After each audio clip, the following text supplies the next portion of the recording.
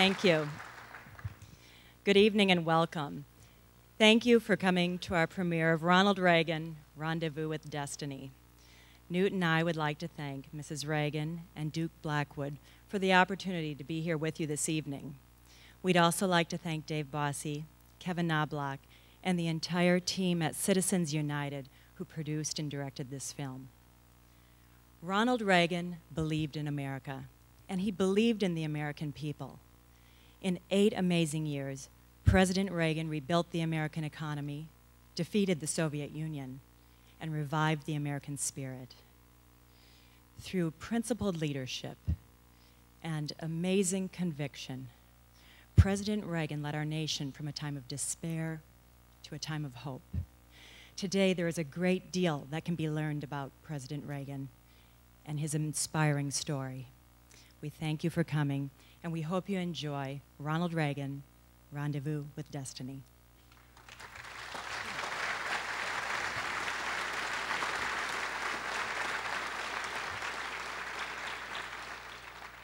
Let me say, first of all, that Duke's introduction, which was not exactly the one we wrote for him,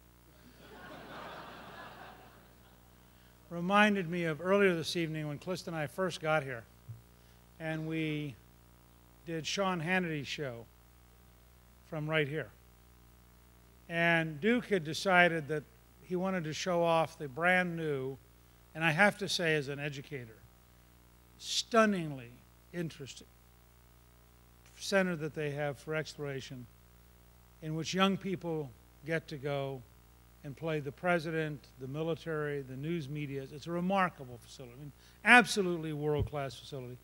So I walk in, and they have set up the interview in their version of the Oval Office.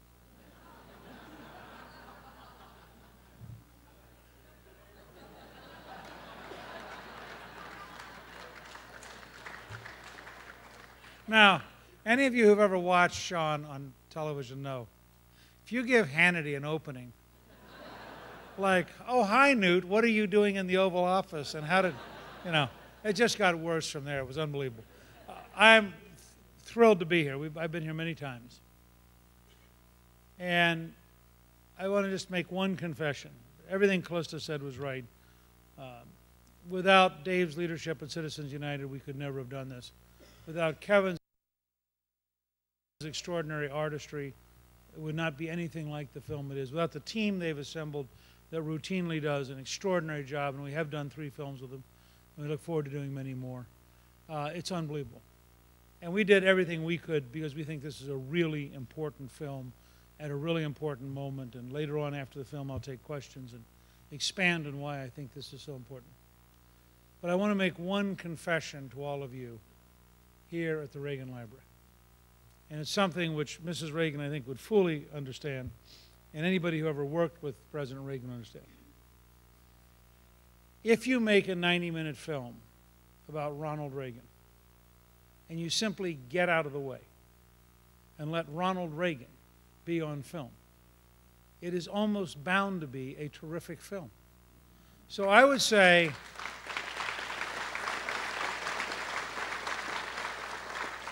If Dave and Kevin and their team deserve 8% of the credit, and if Callista and I might claim 2% of the credit, 90% of the credit for what you're about to see goes to the man for whom this library is named.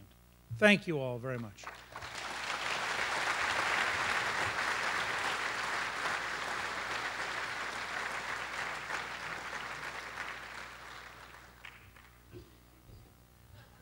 What Newt was referring to was the Air Force One Discovery Center, and I'm going to give it a plug right now. It is truly one of our extraordinary opportunities here to educate the future leaders of America.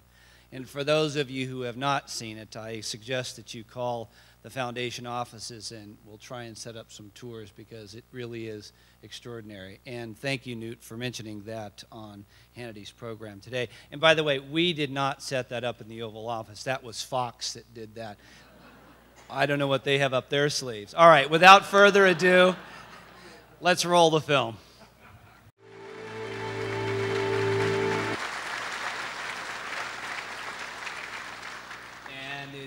Tough not to get a little teary eyed when you see that, but I think that uh, David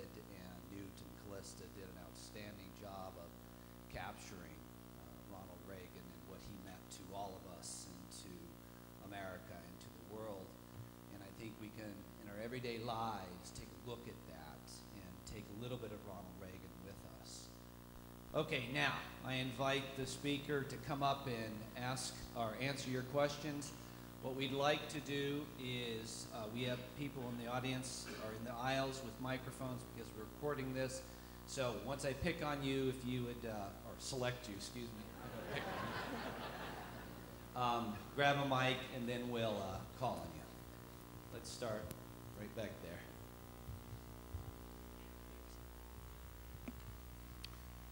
I think we all were very inspired by the movie, so thank you. Mr. Speaker, I have a question for you. We don't have the shining city on the hill that President Reagan left us. I'm afraid that with the way the government is going right now, we're paying people who don't pay taxes, which, as I understand, is a bribe to get you to vote for someone we have a problem with debt that's going to be a problem for our generation. We have an administration that doesn't believe in uh, a problem with terror and wants to eliminate that dialogue. Uh, we have a problem in communication and speakers. And you are, I consider, one of the brightest people on our side. And I don't really know how to deal with and maybe you can suggest something.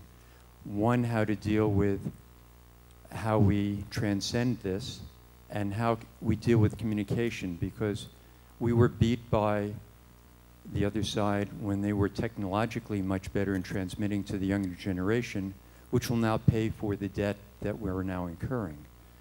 And I don't know if there's a tipping point where if you get 51% of the population indebted to government, that they will inexorably vote for that party, which means even if we have better ideas, better people, we don't win. Do you have any comments, sir? Thank you. No, he won't have any comments on that.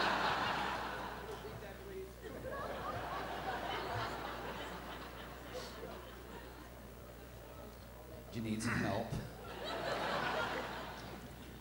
Well, Look, Ronald Reagan emerged on the national scene the month before Barry Goldwater was crushed. He was recruited to run for governor at the peak of the Great Society when the future of America was bureaucratic, wealth transfer, democratic, and Lyndon Johnson seemed to be all powerful. He took on first a popular San Francisco moderate Republican governor who was favored to win the primary, and then a very popular Democratic governor who everyone expected to win. He won the primary decisively. He then beat the Democratic governor by a million votes in a year in which the Republicans were picking up virtually every major governorship, picking up many Senate seats and gaining 47 House seats two years after Barry Goldwater's defeat. He went on to serve two terms as governor. I first got to see him privately in 1974 as I was running for Congress for the first time in an absolutely idiotic move as a Republican in Georgia during Watergate. and the whole of that race was worth running because his plane was late and he spent an hour talking to me about how to make speeches. Six years later, after the Republican defeat of 74, remember, he loses the presidential nomination of 76.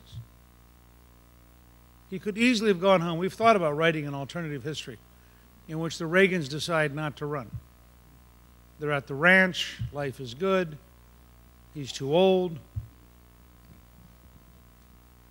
So in 76, Jimmy Carter wins. Jimmy Carter has the highest approval rating of any president in the history of polling on the day that he is sworn in, much higher than Barack Obama. And he only has one fundamental liability he is totally out of touch with reality.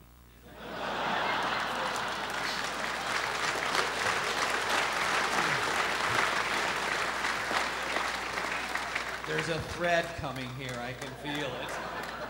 No, I'm, I'm not making any immediate jumps to the current moment of lunacy.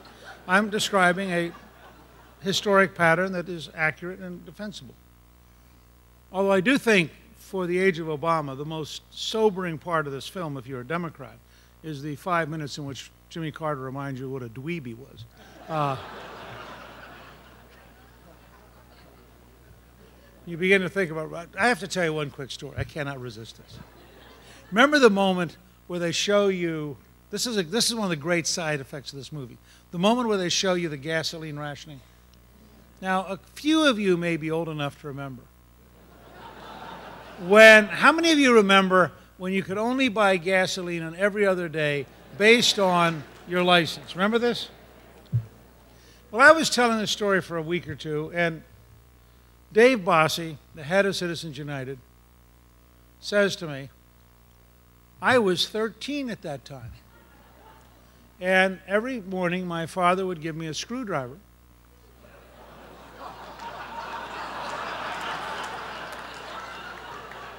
This type, right?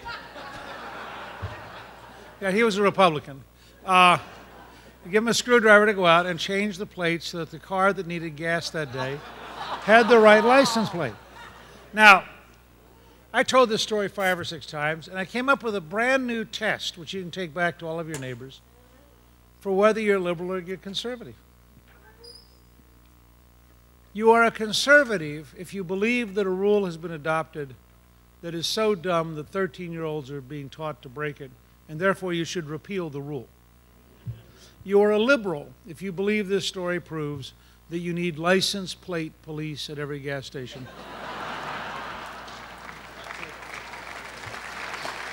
So, I, I just, I just want to make, I'll, I'll finish on this, but I want to make two points that I wish I could drive into the heart of every conservative in the country. The first is, it's never over. Reagan didn't think it was ever over. We got in a big argument with him one time about 1986. And about 10 of us went down there, the younger, you know, the, the really tough young Turks, and we just beat him up for an hour. And it got pretty rough and tumble. And as we started walking out, he walked over and he put his hand on my shoulder. I mean, Reagan was the kind of guy that if he put his hand on your shoulder, you were like paying 100% attention because you didn't know what was coming. But you, I mean, he just exuded this sense of, of assumed authority that was unbelievable. He looked at me for a second and said, You know, after I'm gone, maybe you guys are going to have to do some work on your own.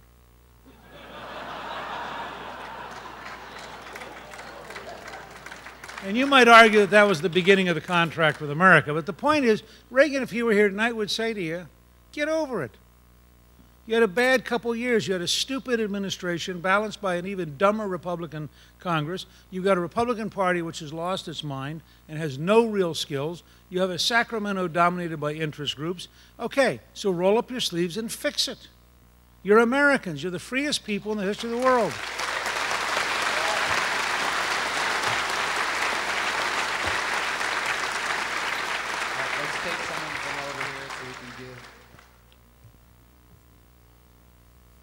What would President Reagan say to President Obama? And what should Obama really listen to? Wait, wait, those are two different questions. You should listen to everything Reagan said.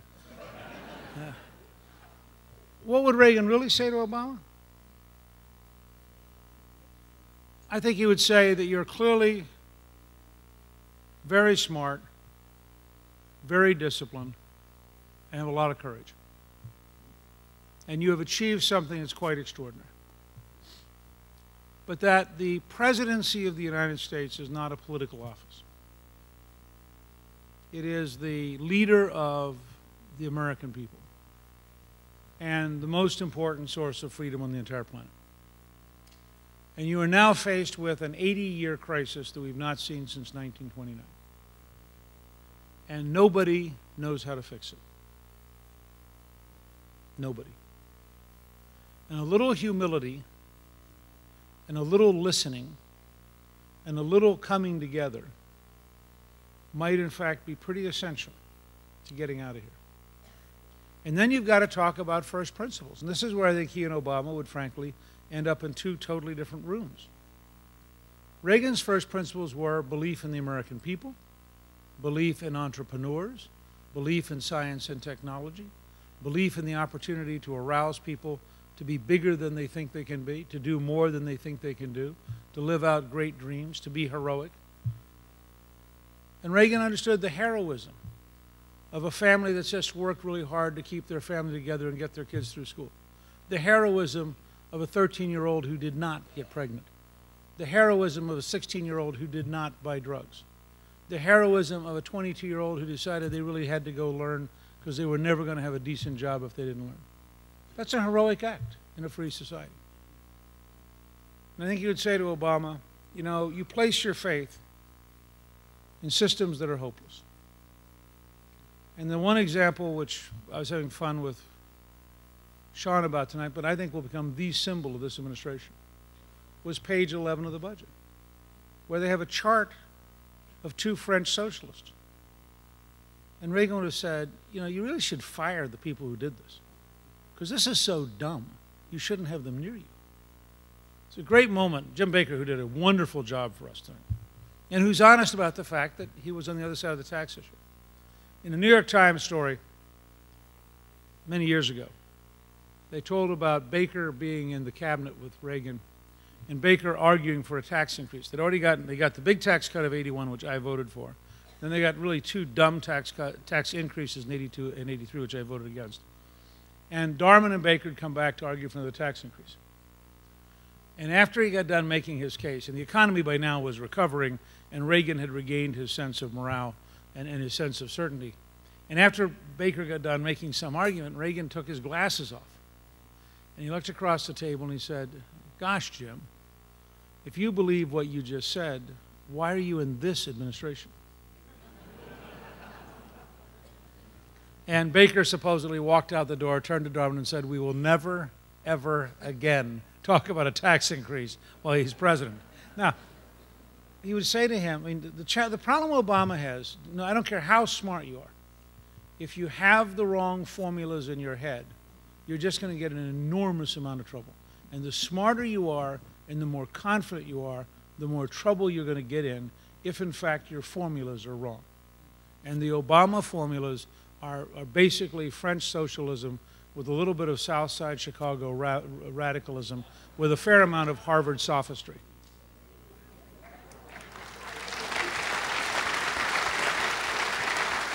Let's go way in the back with the, the young lady with the black dress. Mr. Speaker, um, I was a Democrat, and it was during Ronald Reagan's administration when I saw um, things differently that I became a Republican. And then, of course, the contract with America, which you led, I was so proud of to be a Republican. And I was one of the little workers who was always trying to get us in power. And then we finally did get in power. We had a Republican president, Republican House, Republican Senate. And it just fell apart. I saw them as weak and stupid, and I couldn't understand why they didn't fight harder for our core beliefs. And, and now we've got the mess we've got. So I want to know, as a Republican who believes in the principles of our party, as an American patriot who believes in our Constitution and our founding fathers, if we put people in power that are supposedly on our side and they just turn into monkeys, where do we go? Well, look, I think that's a, actually a pretty good question. I, it's, it's been 10 years since I stepped down. And for the first five of those years, I really thought a lot about what went wrong. Because as far as I was concerned, it went wrong by the summer of 98. And, and uh, we had a meeting in the late spring of 98 with the Republican Senate leaders. And I argued that we needed a second wave of reform to continue the momentum that we'd created with the Contract with America, welfare reform, Medicare reform, and the balanced budget. And a senior Senate leader said, no. Monica Lewinsky is going to win this election for us, and we don't need any ideas. And there's just a total sense of contempt. Why would you waste your time with ideas? And I took a long time to think about this, and it's, it's, it's fascinating because Lady Thatcher changed Great Britain but did not change the Conservative Party. And the day she left, it reverted to being the stupid party it had been before she was Prime Minister. President Reagan changed the world, defeated the Soviet Empire, relaunched the American economy, but did not change the core of the Republican Party. And the day he left, the old Republican Party, frankly, wiped out every Reaganite in the executive branch. Um, I had a very small group of people who understood what we did. Out of the total Republican majority of 236 at its peak, we might have had 20 who understood what we were doing. And the rest were just nice, pleasant people who were glad they were in the majority and thought this was really cool. I mean, you get to be, you get to be called chairman, and it's kind of neat. But they didn't have a clue what we'd done.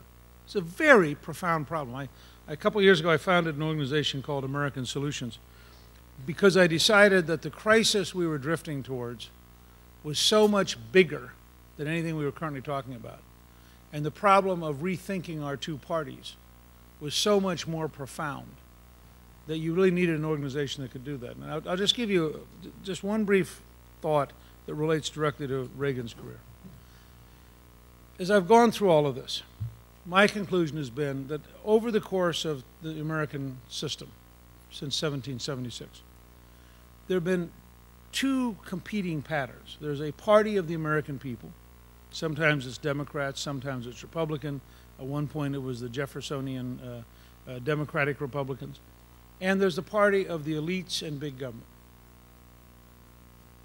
Starting, you know, in, nine, in 98 or 99 or 2000, whatever you want to pick, the Republicans became the right wing of the party of the elites and big government.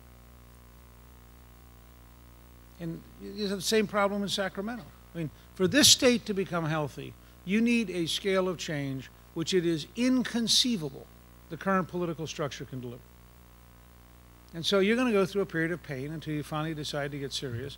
And frankly, the way you get serious in American history, and I, I commend to all of you, I, we did two books that, that designed, when we sat down and designed the 94 campaign, which we designed in the summer of 93, we used two books. Remini's The Changing American Voter, which was a study of how Roosevelt brought out 6 million additional votes in 1936. Landon actually got a million more than Hoover got in 32, but he was drowned because Roosevelt got 6 million more. And it basically talked about how do you mobilize people who aren't used to voting. Well, if you look at the contract with America, we got 9 million additional votes in 94, the largest one party increase in an off year in American history, by design. Because we were positive, we had real solutions, and they were issues people believed in. The second book we used was fundamentally different. It is Remini's The Election of 1828 and it is the study of the Jacksonians who spend four years destroying John Quincy Adams. And they were serious about it. And I will just say to you from the first seven weeks of this administration, the election of 1828 is a really useful book to read. Well, you talk about um, leadership in the Republican Party, and I'm not going to get into um, who is uh, our up and coming leaders, but when you have a fractious Republican Party. How do you bring people together? Back in 1984, when you guys were doing the contract with America, you had um, a consolidated group. What would you recommend for the Republican Party to be able to bring everybody in the tent and move forward? Now, look, that, that's a good question, and my answer is I wouldn't. Uh, 1994 was a historically unique moment in which I had personally spent 16 years building a system. From, 19, from December of 1978 to November of 1994. 16 years. We lost in 80, 82, 84, 86, 88, 90, and 92. Then we won. It was a great week. Reagan, think about the film you watched. He splits the Republican Party in 1976. He runs against the incumbent Republican president. He comes within 70 votes of beating him in the convention. I mean, if you'd said to Reagan in the spring of 76, gosh, don't we need unity? He'd have said, no, we need clarity. Okay, so how do we get clarity? You get a lot of guys who get up and talk, okay? And I'll give you a, a politically incorrect example. We have had an argument over the last two weeks about whether or not it's appropriate to wish that the President of the United States failed. And I took a position which some conservatives find very confusing. I believe it is fundamentally wrong to desire the President of the United States to fail. I think it's perfectly appropriate to defeat the bad ideas. I think it's perfectly appropriate to hope the President will learn and change his position. But I remember how mad all of us got at the left when they wanted George W. Bush to fail. And I'm pretty happy to debate anybody in the conservative movement anywhere on the very core question do you, as a citizen, have an obligation to try to help the president? Now, you may need to help him by beating his dumb ideas and offering him better ideas. But your goal should be because we, we can't have a permanent election. There are stretches when you have one person who's the commander in chief, and you have to try to help that guy work. And sometimes it's a steeper mountain than others. But I'll tell you, in my experience, it's sometimes as hard to get it to work on the Republican side as it is on the Democratic side.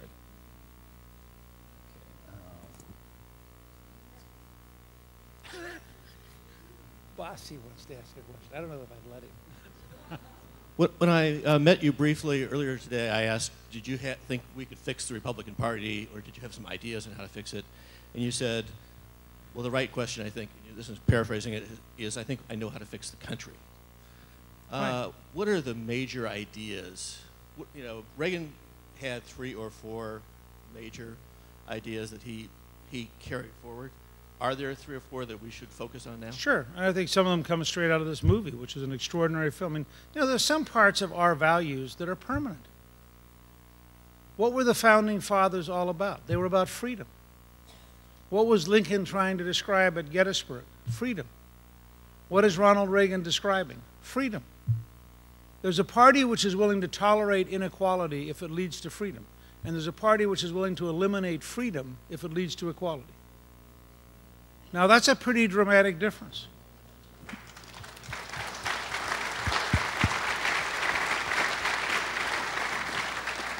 So I would say if, if, if I could define, and, and the point I tried to make earlier today, if I wasn't very articulate, was Republicans ought to quit worrying about the Republican Party and worry about America. California Republicans ought to quit worrying, you know. If California Republicans would quit worrying about the Republican Party and worry about California, the first thing that will happen is you'll meet a lot of new people. There are a lot of other people in California who are worried about California. They'd love to find somebody to talk to. Just don't insist they come to a right wing Republican meeting and immediately agree to whatever platform you adopted 11 years ago. But say together, what do we need to fix in Sacramento so our state's going to be healthy someday? You could be amazed how big your coalition could be. So, my first advice to, from Michael Steele on down is quit thinking about the party. Think about America, think about your state, think about your community, think about your congressional district. If we fix that, people will hire us for a long time. Second, what Reagan understood and what Thatcher understood and what made them historic was that first principles are first principles. Now, lots of people give speeches, and Obama is a good example of this. He, is, you know, he explained the other day while signing 9,000 earmarks that he was actually opposed to earmarks and he had a brand new idea for not signing earmarks, which he would announce shortly after signing the earmarks. well, you know, let me just tell, say it all. You don't have to take this stuff seriously. I mean, you just say, okay, got it. You're a politician. you are dramatically less than the candidate you promised us. It's fine. I get it. I'm not mad at him. It's just I don't think very much of that kind of behavior. But Reagan had a totally different style. I, I got involved in the Panama Canal fight, which Reagan led. And Reagan's willingness was to say, and, and there's, a, there's, a, there's a line in the Polish resistance movement, which we are, we're studying a lot right now to uh, prepare to make this movie about Pope John Paul II. And during the decade-long struggle, the Poles had a, would say, two plus two equals four. And if the state tells you 2 plus 2 equals 5, they're lying. And if they tell you 2 plus 2 equals 3, they're lying. Now, let me give you an American example. If you can't afford to buy a house, you can't afford to buy a house. Now let's have, a, let's have an argument. Let's get it out in the open. The number one issue in America, actually, there are three words that define politics for the next three years jobs, jobs, jobs. There's not a fourth word. This country is going to be in substantial pain. And the question is which party is prepared to have an honest conversation with the American people, offer fundamental change, and win the argument? Margaret Thatcher, I'll close this up. Margaret Thatcher used to say, first you win the argument, then you win the vote. And we have to have the courage to win the argument. And it has to be an argument we believe in, and it has to be an argument that has consequences. All right, let's go right here. Uh, welcome tonight, and, and thank you for uh, the best movie I've seen on a Friday night in a long time.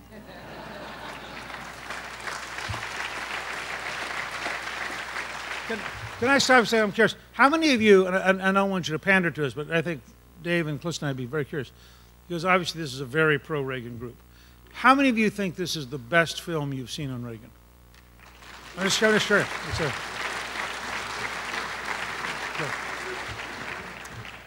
Um, on the drive over here, my wife and I were thinking of a question we wanted to ask you during this question time. And one of the concerns that we had is how do we reach the youth of today, as we've seen the uh, other party uh, reach the youth in large numbers.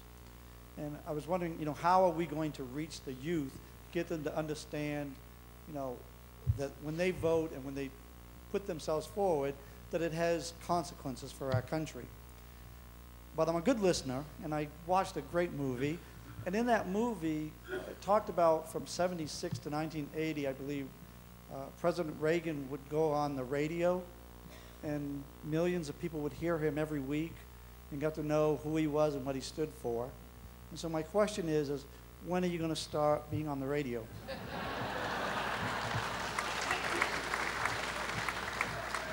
Well, let me work my way back to your first, more appropriate question. By putting in a modest commercial that we have a uh, electronic newsletter at newt.org that goes out every week to about 820,000 people. Uh, I now Twitter and have about 10 or 12,000 people who follow that. Uh, I'm on Fox News reasonably often, which gives me probably not quite the reach that Governor Reagan got in the in the 70s, but some reach. Uh, and we do uh, YouTubes and had five and a half million people watch our YouTubes last year. Uh, and then, of course, we do movies with Citizens United, which has certainly grown uh, dramatically and reaching out. So, you know, we're trying to educate, and we have some ideas for how we're going to dramatically expand that in the next six months. But I want to go back to your first question because I, I, think it's a, and I want to show you, you know, I really feel, I mean, one of the reasons I'm so proud to be here is that I really feel that in many ways I stand on Reagan's shoulders. I, as a graduate student, I watched Reagan. We saw Lou Cannon the other night, and I was telling him I had read um, Ronnie and Jesse, which is the book he wrote in 1969. I think he was startled. But I, I began studying Reagan by the, from the time he ran for governor. And, and it's not that he's not the only person I've studied. I know a reasonable amount about FDR and Lincoln and those other guys. But there's a lot you can learn from Reagan. Let me give you three quick examples for young people that we've got to move towards. I was talking to somebody here tonight about, in fact, a, a, about a, a Kindle and whether or not you could use Kindles, which is a, the uh, Apple electronic device, I mean the uh, Amazon electronic device, uh, which will hold up to 200 books. Well, what if you gave a Kindle to students? What if, what if college students, instead of paying bizarre prices for, for absurdly overpriced textbooks, often assigned by the professor who wrote them, With a liberal slant. with a liberal slant. What if, what if you could reduce the cost of going to college by $500 to $1,000 a year by offering them the option of having electronic books? What if you were to, here's a simple principle to apply if you're running short of money in Sacramento. Look at the number of administrators per student on campuses in 1950, and then look at the number of administrators on campuses today, and simply apply the 1950 model. Now, that would require you then go to your congressional delegation to point out that the federal government has added probably 70 times the number of administrators to fill out the federal forms. But we're not going to change things, but so you can, because you want to be able to go back to students and say, I'd like to be able to make it possible for you to learn as early as possible, to get educated as inexpensively as possible, and to have the best possible life. The, the other two quick examples are, uh, if, if, you know, the president's budget has an energy, an energy tax in it. If you go to young people and say, hi, how would you like to pay $1,300 a year per family uh, extra for electricity, heating, oil, and gasoline? You'll find relatively few young people who go, you know, I've been making so much money recently, and this economy, this economy is so good, I can hardly stand the opportunity. Please let me pay that extra 1300 The other thing you could do is you could figure out what is the lifetime cost to a 20-year-old of the budget deficits of this year, and just hand them a bill. Say, this is what these guys, you- you start thinking about interest rates going up and what that will do to federal debt cost you know, you could begin to have a conversation radically different than any conversation you think you're going to have. And you're going to find a lot of young people are pretty smart. They figure out, start, first of all, most of them have credit cards, and they figured out at some point you actually want them to pay for it. And so they begin to move into conservatism inch by inch. All right, we'll take one more because we have um, to sign some CDs. The young man here. No, you. This way. There you go. There you go. Speaking of youth. Um, thank you for taking my question. Um, I'm, I was just curious. I'll be able to vote in uh, 2012 for the first time for president, and I was curious if I'll be able to find your name on the ballot. and I didn't set him up for that. and and also, I was wondering, who do you think are some of the emerging conservative leaders that could be some of our future conservatives that could lead our country in the near future? Well, let me say first of all, I wondered when you called on your nephew why you had picked him to be the last question. Uh, um, I, I gave an accurate but probably not very clever answer the other night uh, when I was in uh, Virginia uh, with a local reporter, and I said that Callista and I will probably uh, meet with our children and grandchildren in January of 2011 and have this conversation, which promptly became Gingrich is thinking about running. So I want to give you a totally different answer. Um, I believe, and I said this a while ago, this is the greatest economic challenge in 80 years. There is no one alive today who is in a position of authority when we totally failed twice. We failed to stop the Great Depression, and we failed to fix it. And people tend to forget FDR was a great politician. He was terrible at economics. We had 15% unemployment in 1939. That is not a very desirable decade. And so the commitment I've made, and the list that I've made is, I'm going to do everything I can this year, everything, to try to help this country on a totally nonpartisan basis find the best possible solutions to get us out of the hole we're in. And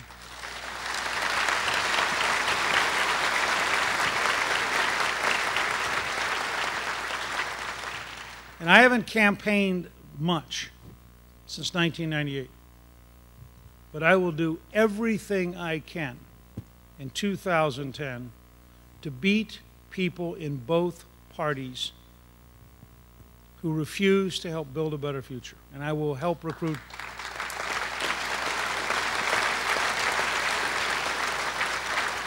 And I'm prepared to try to help recruit Democrats in districts that are whole completely Democrat, because I think you can find common sense, anti-tax, serious Democrats in districts that are currently occupied by left-wingers who will be shocked to discover that they don't have an easy ride because they can beat a Republican.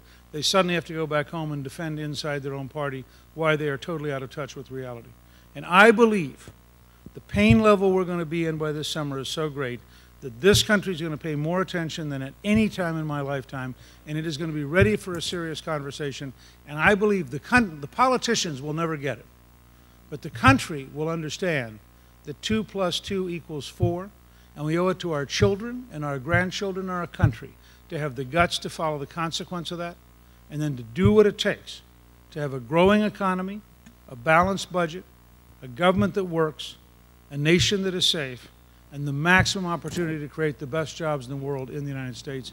And we're going to do that from now and through 2010, and then we'll be glad to come back here and have a seminar sometime in early 2011 on the many opportunities that life has. Thank you all very much. Ladies and gentlemen, Newt Gingrich.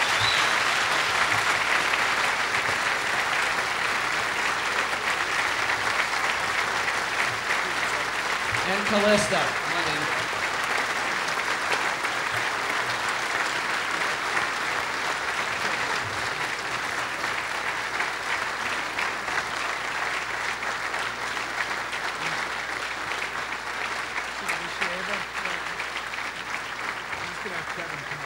Kevin, come on up.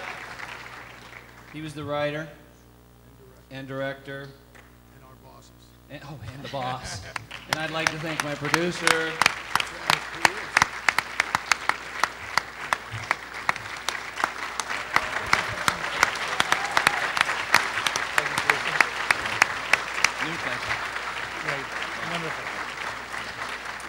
Thank you, everybody. So what we're going to do now, we're going to uh, take the podium off. He's going to be up here to uh, sign, or they are going to be up here to sign. If you form the line off to my left and be a little bit patient, we'll open the doors to get some cool air in here. And thank you all for joining us this evening.